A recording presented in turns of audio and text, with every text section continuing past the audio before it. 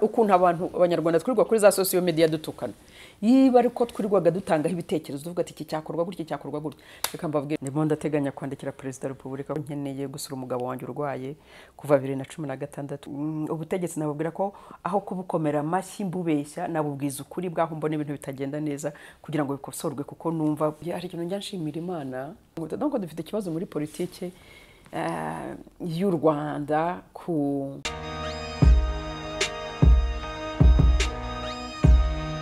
ibihe byiza nshuti bakunze b'imbarutso ya demokarasi mu bice murimo bitandukanye mu rwanda hanze y'u rwanda mwese nizere ko muri amahoro. Turagarutse turagarutse ngo tuganire ku ngingo zigiye zitandukanye mu kiganiro cyacu.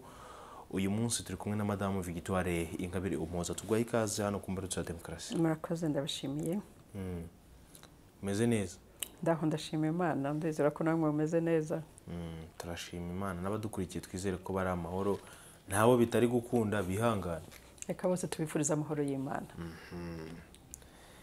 Ngayo nguko. Umuryango bimeze bite? Umuryango wanjye se? Oh, umugabo wanjye aracyarwaye ndimo ndateganya kwandikira perezida wa repubulika ko minisitiri w'ubutabera. Urabona igihe muri rya teka rya perezida wa repubulika harimo imbabazi. Yavugaga harimo ingingo ivuga ko ntashobora gusohoka igihugu ntasabye uruhushya minisitiri w'ubutabera naragerageje ntiyigeze asubiza. Ariko harimo indi ngingo ya gatanu ivuga iti perezida wa repubulika ushobora ku- kumwandikira ukamusaba ko izo ibyo bintu byo gukurikiza byo kubahiriza muri icyo gihe igifungo kitararangira cyari kitararangira ushobora kumwandikira ukaba wamusaba bikavaho. Ubu ni byo ndi kwitegura gukora nkaba nizera ko perezida wa repubulika we nibura azanyumva yumva ko nkeneye gusura umugabo wanjye urwaye kuva bibiri na cumi na gatandatu ntashobora gukora urugendo ngo aze kunsura ntashobora kugenda rurerure. Mm, nkaba imyaka ishize ni myinshi guhora uvugana n'umuntu urwaye kuri telefone udashobora no kumuba iruhande n'igihe gitoya we ndashaka kwandika ngasaba nyine ko nashobora gusura umu ah, umugabo wanjye ariko abana bo bari aho nta kibazo. Mm. Eh, ubundi kuba wasaba umwanya cyangwa se uruhushya wemerewe igihe kingana gute? Cyangwa ntabwo ntabwo bashyiramo igihe. Donc icyo gihe nandikaga nasabaga nyine vuga nda wenda nzagenda mara ibyumweru bibiri nzamara ibyumweru bitatu. Ariko ubu ntekereza ko imyaka ine yashize imyaka ine mfunguwe ndumva ndi umuntu witwaye neza. ndabizi ko ibitekerezo wenda nagiye ntanga hari abantu bimwe bitashimishije kandi ntabwo mvuga ko ndi umutagatifu. Umuntu wese arakosa umuntu agira aho atsikira umuntu agira ati ariko ntekereza ko ntateje ikibazo ku gihugu ku buryo nandigiye perezida wa repubulika nkamusaba ko yankuriraho ziriya mpamvu zose zituma ziri muri iryo teka zikaba zavaho noneho nkaba ashobora kujya ngenda nkagaruka mu gihugu nta kibazo mfite. Ibyo gihe byamfasha nkabona uko nsura umugabo wanjye urwaye. Mm. uravuze ngo witwaye neza. Ese igihe gishize uvuze ko ari imyaka ine ntibishoboka ko waba waritwararetse ukigengesera muri icyo gihe mu gihe imbabazi baguhaye zitararangizanya n'igifungo wari wakatiwe kugira ngo nyuma nibirangira eh, nk'uko uvuze witwaye neza bihite bihinduka.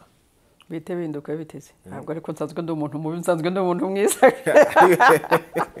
Urihinduka ukagira ngo ndi wagira ngo ube nka uh, umuvugizi wa leta rero uvuga ngo uriya mukirimineri ntabwo ndi umukirimineri ngewe ndi umunyarwanda usanzwe wubahiriza gahunda za leta wifuriza igihugu gutera imbere utanga ibitekerezo nubwo bidashimisha abantu bamwe ariko ngewe mm, ubutegetsi nababwira ko aho kubukomera amashyi mbubeshya nabubwiza ukuri bwaho mbona ibintu bitagenda neza kugira ngo bikosorwe kuko numva twese nk'abanyarwanda icyo numva cyakagombye gushishikaza buri munyarwanda ni ukubaka u rwanda rwiza u rwanda rutekanye u rwanda rutera imbere twese dushyize hamwe. Rero ibyo mvuga ntabwo mbivuga kubera kwanga ubutegetsi cyangwa abayobozi b'igihugu cyacu ariko ni uko hari ibintu mba mbona bipfuye biba bigomba gukosorwa. Abenshi bavuga ngo nkunda kuvuga ibibi gusa simvuge ku byiza ariko ibyiza burya iyo navuze ngo dusigasire ibyagezweho ibyo byiza byagezweho biba biri muri iryo jambo. Nuko nyine mbibona bihari noneho ubwo nkavuga nti dusigasire ibyagezweho donc ayo makosa akorwa nkunze gushyira imbere akosorwe kugira ngo nyine dusigasire bya bintu byagezweho byiza bitari ngombwa ko umuntu arondora kuko ari byinshi. Muri iyi myaka ine kuva wafungurwa wize iki? Nize ku nize iki se? nize ko kubana neza usibye ko ni ibintu n'ubusanzwe ariko ubuzima buri gihe ni ishuri. Ugenda wiga uvuga uti kwigengesera ku bantu. Donc ko abantu bose badashobora kukumva ariko ukamenya kubatega amatwi no kubakira no kugerageza gusesengura aho kugira ngo bafate nk'abanzi ahubwo ukavuga uti ese kuki ambona kuriya ese kuki biriya bifata kuri? Donc ukagerageza kumva ngerageza kumva neza umuntu. Si sinkunda kureba ikintu kiri negatifu mu muntu ahubwo nkunda kureba ikintu kiri muri pozitifu muri we ni ikihe? Iki- noneho bigatuma nkavuga muri, muri we hari ikintu kiri pozitifu donc akaba ari cyo ndeba kandi na cyo kirakisa kurusha kwirirwa njya kureba ibintu biri biri muri we biri negatifu kugira ngo nirindwe nyine kumuha kashe itariyo. Donc urwo ni urugendo rw'ubuzima kumenya kubana n'umuntu n'abantu. We ni byo nizi muri iyo myaka ine. We no niteka gushishoza nyine ibyo ugiye gukora ibyo ugiye kuvuga ibyo ugiye we donc hari byinshi umuntu yize no mm, no kurushaho umuntu agenda asobanukirwa n'imiyoborere y'igihugu nyine umuntu areba avuga ati aho bitagenda ni hehe? Wenda aho utumvaga kugerageza ukavuga uti ahangaha birumvikana wenda impamvu ibintu bigenda gutya ni uko nyine ari uko bimeze. Biguha iteka buri munsi kumenya ko ugenda utera intambwe icyangombwa ni uko umuntu atera intambwe mu cyerekezo cyiza. Donc uvuga ati turubaka u rwanda rumeze rute? Turubakwa turasigasira dute ibimaze kugerwaho? Turategura dute ejo heza hazaza h'igihugu cyacu? Nibyo binshishikaje ni byo mba ndeba buri gihe iyo ntera intambwe buri munsi. Niyo mpamvu buri gihe mu rwanda dukunda kuganira. Nyine mba ibyo ngaruka kenshi ni byo mba narebye nkavuga ariko hariya turimo turimo turagenda nabi turimo turacumbagira niba hari ibimaze kugira neza bimeze gutya ni gute twabimbatira nyine kugira ngo hatagira ikibikomanganyaho no ibyo n'ubuzima bwa buri munsi n'ibintu umuntu ahura na byo buri munsi ufite icyo wabonye icyo wize. Ubuzima ni ishuri. Umunsi ku wundi umuntu aba arimo yiga. Victoire ingabire umuhoza wa bibiri na cumi na gatandatu. N'uw'uyu munsi batandukaniye bibiri na cumi na gatandatu nari muri gereza. Nari nari imfungo ubu rero bibiri makumyabiri na gatatu. Ah, ndaho narasohotse ku mbabazi za perezida wa repubulika. Ariyo mpamvu ndimo kuvuga nti ngomba gushaka uburyo n'izo kondisiyo bashyiriyeho zo kwitaba rimwe rimwe mu kwezi mu biro byo kwa porokirere nk'uyu munsi navuyeyo kugira ngo ibyo bintu bishobore kuba byavaho. Hari abantu wenda ngisohoka mbere nakundaga kubipostinga kuri twitter yanjye ariko byageze aho ndabihagarara kuko abantu batanyungu ngo ariko ngo n'ubu uracyajyayo n'ubu uracyajyayo numva abantu barambiwe imbere yanjye ndavuga nti abantu barambiwe imbere yanjye reka mbyihorere n'ibyanjye bari byo byimenyera hanyuma donc nka nka- nkajyayo donc n'uyu munsi navuyeyo ndacyajyayo igihe cyose wenda igihe ntagiyeyo ni cya gihe cya corona. Um, ntabwo nigeze njyayo kuko nyine byari igihe icyo gihe nta muntu ushobora kwitaba. Ndetse mbere ya corona umuntu wundi wajyanaga igipapuro bagufunguriyeho porokera agateraho kashe akanasinya. Ukajya no kwandika mu gitabo ariko nyuma ya corona porokirere atinya gukora ku mpapuro z'abantu atinya kwandura corona uragenda ugasinya mu gitabo gusa bikarangira ukagenda. Ni ibintu bidatwara iminota myinshi donc iyo ari icyemezo nkunda kubahiriza iyo mvuze itegeko nkunda kuryubahiriza ryaba ari iteka ryaba ari itegeko nkunda kuryubahiriza. Niba biri mu mu- muri kondisiyo nashyiriweho nta mpamvu n'imwe gutuma ntabyubahiriza. Narabyubahirije rumva amaze imyaka i- ine mbyubahiriza niyo mpamvu uvuga nti si ubu noneho nandike perezida wa repubulika nkavuga nti narabyubahirije rwose uko byari bikwiye uko nabisabwe ariko noneho ndasaba ko nanjye mwa- mwanyorohereza mureka noneho za mbabazi zikaba imbabazi zikuraho n'ibyo byose kugira ngo nshobore kuba nasura umugabo wanjye urwaye. Kuko kame umuntu urwaye kuva bibiri na cumi na gatandatu kugeza uyu munsi tuvugana gusa kuri telefone kuva aho mfunguriwe hari aho bigera ukumva nyine ukeneye kumuba iruhande kugira ngo nibura umufashe nyine avuga ati mfite umufasha. Eh, nibiramuka bidakunze? Bizagenda bite? Ubuzima burakomeza. Ntabwo mu buzima bwanjye hari ikintu njya nshimira imana. Imana njya nyishimira ko wampaye imbaraga zo ntabwo njya niheba mu buzima bwanjye. Ntabwo njya niheba ndasaba umuntu akama cyangwa akanyuma iyo ampaye ndashima iyo atampaye wenda ku mpamvu izo ari zo zose ntabwo ntabwo niheba ngo mvuge ngo ndapfuye birarangiye.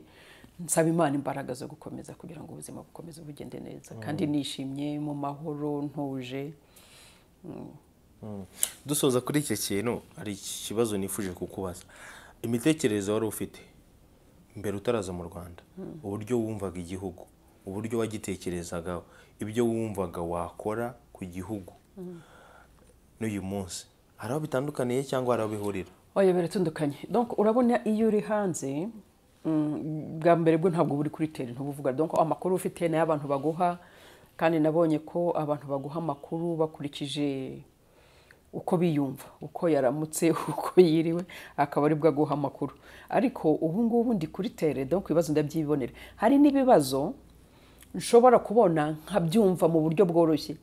Nkashobora kumva impamvu ariko bimeze. Tuvuge nko muri iyi minsi ah, hari ikibazo cyabaye cy'uko ibiciro byazamutse bya esansi.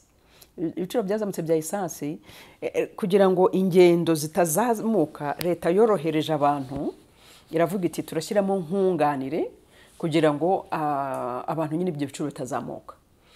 Noneho ba bantu leta yemerewe guha nkunganire ntiyayitanga kubera ko bitari muri bije ubu nshobora kubyumva kuko ndi hano kuri tere nkabisesengura neza nkavuga nti donc hari ikibazo koko cy'abantu bagomba kwideplasa ba- donc bagomba ku- kugenda ingendo zikomeza kugenda. Hari ikibazo cyaje gitunguranye ntabwo ari muri bije ya leta.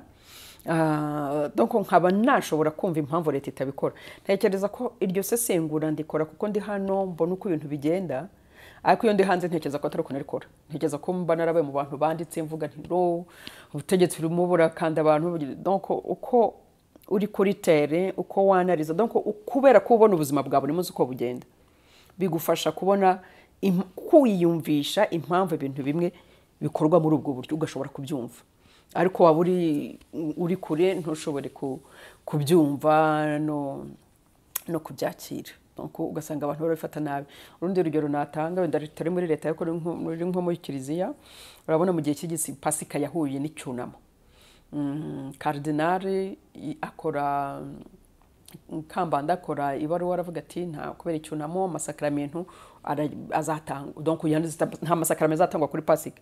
Nabonye kiritike z'abantu benshi bo hanze ngo rwose ngo ntabwo nsubiramo amagambo bamuvugaga ko ndamwubaha cyane umuntu unyobora mu bya roho ntabwo sinategeka kugira icyo muvugaho ariko ukabona abantu babyakiriye nabi ngo yabikuyeho ngo byagenze gute? Ndavuga nti no donc turi mu gihugu wenda iyo mba hanze nanjye nuko nari kubibona ariko turi mu gihugu igihe cy'icyunamo itariki ya karindwi umunsi icyunamo gitangiriraho nta activite n'imwe ikorwa. I- ibintu by'iminsi mikuru byo kugira gute ni umunsi tugomba kubahiriza ko tuba dutangiye cya cyunamo twibuka rya curaburindi. Abantu banyuzemo twibuka ukuntu bishwe yabo ukuntu byagenze. Donc bivuga icyo gihe nta, byishimo bihari. Donc iyo minsi irindwi abantu barayifunga mbona no kumva hari abantu benshi maze iminsi numva bavuga bati turi mu cyunamo none hari uwaje gukorera anniversaire mu Rwanda. Ubwo wenda bari bubyine cyangwa urugero gute. Icyunamo ubu cya kindi gituma nta miziki ugomba kuzaho nta bintu mbese by'imyidagaduro bihari ni igihe cy'iminsi. Irindwi gusa ku itariki ya karindwi kugeza ku itariki ya cumi na kabiri cumi na gatatu mm, bagasoza icyunamo bajya kwibuka abanyepolitike bishwe muri kiriya gihe. Donc urumva rero mu gihe cy'iminsi irindwi niba kije muri ya gihe cya pasika abakirisitu tu- haba amasakaramentu haba iki? Donc icyo gihe birimuka bikajya ku kindi. Donc urumva rero iyo uri hanze ntabwo ubyumva nk'umuntu uhari urimo ubibamo ubyumva. Donc biba biratandukanye. Dusoza kuri icyo ngicyo abantu bari hanze uyu munsi ni icyo wababwira kuko eh, nk'uko uri gukomeza kubivuga uravuga uti nanjye iyo nza kuba ndi hanze wenda ndi kubyumva ukundi abakorera politiki hanze cyangwa abatanga ibitekerezo byabo bari hanze ni iki uyu munsi wababwira ese ni iki bagomba gukora kugira ngo ibitekerezo batanga bibe ari ibijya kubaka igihugu neza?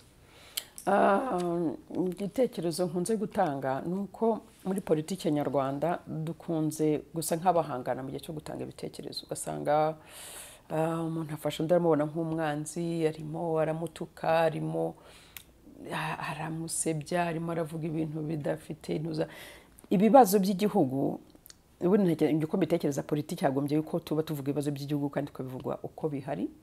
None ibyo bibazo by'igihugu akaba ari byo duheraho tuvuga tuti igikwiriye gukosorwa ni iki kandi cyakosorwa no muri ubu buryo?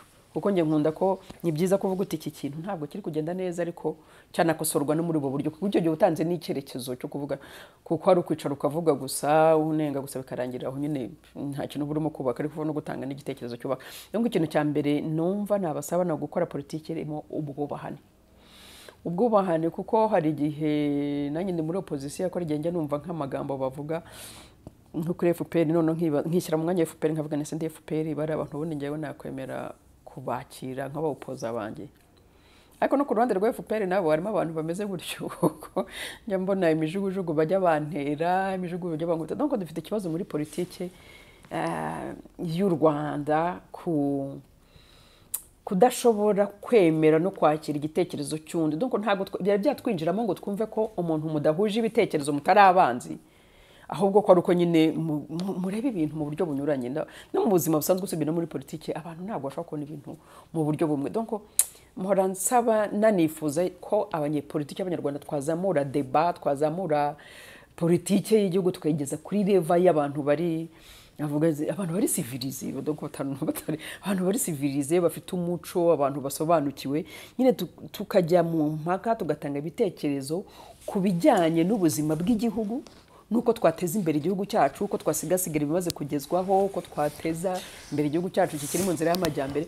Donc akaba ariho tugenda dutanga ibitekerezo kurusha kujya kureba umuntu ku giti cye. Ureba umuntu umuntu atanga igitekerezo ugasanga umuntu yamwa donc ukajya kwataka umuntu ku giti cy'umututse aho kuvuga uti cya gitekerezo utanze ku buryo wenda twateza imbere igihugu cyacu wenda ntabwo ari cyo. Cya gitekerezo utanze ko twakubaka igihugu kigendera ku mategeko ntabwo ari uko twabikora wenda twabikora. None ugasanga deba niba ukuntu abantu abanyarwanda twirirwa kuri za sosiyo media dutukana. Yiba ariko twirirwaga dutangaho ibitekerezo tuvuga ati iki cyakorwa gutya iki cyakorwa gutya. Reka mbabwire ntabwo muzi ukuntu u rwanda rwacu rwose rwakwihuta mu iterambere. Ariko birambabaza ko iyo ngiye kuri za sosiyo mediya ni ibitutsi abantu barimo batukana nta muntu uvuga ati made rwanda twayiteza imbere gutya abari hanze bakavuga ati twaboneye isoko poroduwi za, za made in rwanda muzizane tuzicuruze cyangwa se dore akandi kantu gashyamo ibintu nk'ibyo ngibyo ni- ni byo byari bikwiye kuturanga kuri za sosiyo media kurusha ibitutsi dufatikanyije mu mujyi mwiza twakubaka igihugu